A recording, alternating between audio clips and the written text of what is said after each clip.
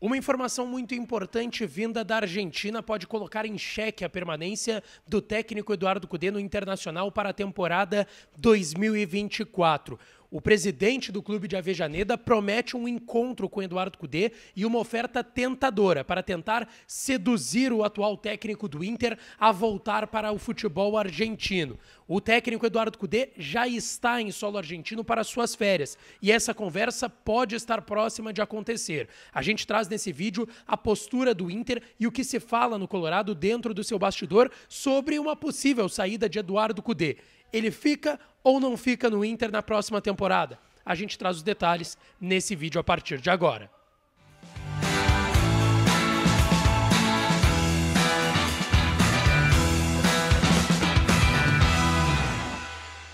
Fala rapaziada, sejam bem-vindos a mais um vídeo aqui no canal e nesse vídeo a gente vai falar muito sobre o futuro de Eduardo Cudê, no Inter ou fora dele o Racing de Avejanedo e uma informação importantíssima vinda do Diário Olé na Argentina dá conta de que o clube de Avejaneda, sim, promete uma proposta tentadora para tirar Eduardo Cudê do Internacional. Uma ótima relação entre Chacho e o presidente do clube argentino. E o que de fato terá nessa proposta? Qual a postura do Inter? O que, que o Colorado fala no bastidor, tanto do lado da atual situação e candidato à reeleição com o presidente Alessandro Barcelos e do lado da oposição com Roberto Melo? A gente vai trazer mais detalhes nesse vídeo a partir de agora. Antes disso, não te esquece de deixar o teu like, te inscrever no canal e ativar as notificações para aqui. E é claro que esse vídeo e todos os outros têm o apoio de KTO, KTO.com, a melhor banca de apostas do país, KTO, onde a diversão acontece. Aproveita o código DIAS para tu ganhar 20% de free bet no teu primeiro depósito. Se colocar 100 pila, ganha 120 para brincar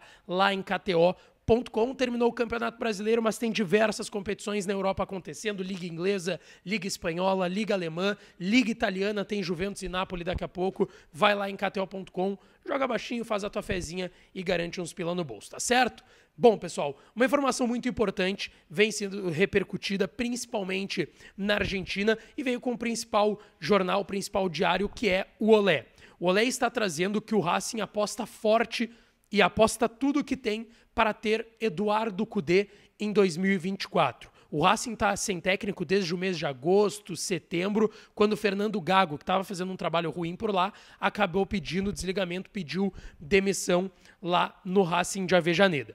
Desde então, muitos nomes vêm sendo especulados por lá. O Gabriel Heinz e também o técnico atualmente no Inter, Eduardo Cudê, que teve uma passagem com o mesmo presidente que ainda está lá, o Vitor Blanco, e foi campeão da Liga Argentina em 2019, antes de vir para o Inter em 2020 na sua primeira passagem, tirou o Racing de uma fila de mais de 30, 40 anos que não ganhava o campeonato argentino e um título de expressão por lá. Então o Cudê tem uma ligação com o Racing bem importante e tem uma ótima relação com o atual presidente Vitor Blanco, que também era o presidente da época.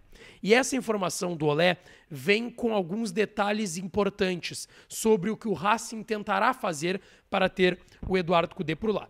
Primeiro a gente precisa contextualizar. Cudê tem contrato com o Inter até o final desse ano e depende muito do que será as eleições. Por mais que o Roberto Melo, candidato da oposição, tenha procurado ele, tenha deixado claro que quer que o Cudê seja o seu técnico, caso ele seja eleito amanhã uh, e o associado vai votar entre Alessandro Barcelos e Roberto Melo, se o Melo for eleito, ele quer manter o Cudê. Se o presidente Alessandro Barcelos for eleito, todo mundo sabe, isso sempre ficou claro, que ele também quer manter Eduardo Cudê se debateu qual seria a vontade do Cudê.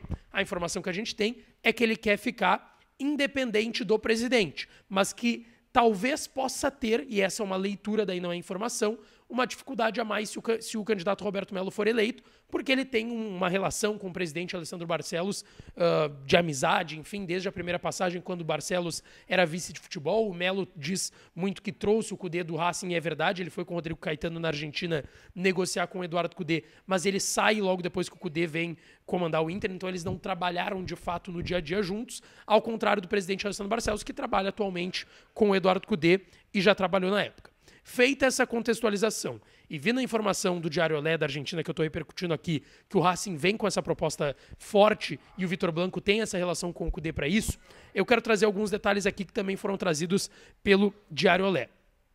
Primeiro, de que uh, o Racing prepara essa oferta e ela é tentadora financeiramente e em projeto para Eduardo Cudê. A gente viu o Cudê destacando na última coletiva sobre o Inter ter uma maior capacidade de investimento para reforçar bem a equipe, o time ser mais forte para a temporada que vem. Foi algo que foi prometido para o Cudê na primeira passagem e não aconteceu. E a gente sabe que por todos os trabalhos que o Cudê foi passando, sempre se falou do Cudê querer ter times fortes à disposição para poder, de fato, brigar por títulos.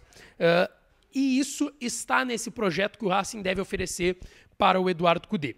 E segundo o Diário Olé, o Cudê teria sinalizado e teve um primeiro contato do Racing lá depois do Grenal, depois da eliminação do Inter na Libertadores. O Inter ganha o Grenal e tem uma ligação do Vitor Blanco pro Racing, do, do Racing, presidente do Racing, para o Eduardo Cudê. A gente destacou isso aqui também no canal. E que desde então o Racing tem a informação por lá de que o Cudê, mesmo que talvez não aceite a proposta do Racing, ele talvez não volte, não fique, aliás, no futebol brasileiro. E essa informação é muito importante. Então o Cudê tem um futuro incerto no Inter, também está muito ligado à eleição de amanhã.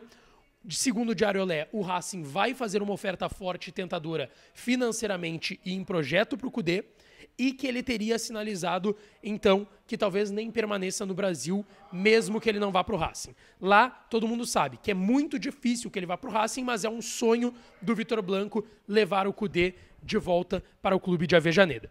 O que, que eu ouvi aqui do Internacional?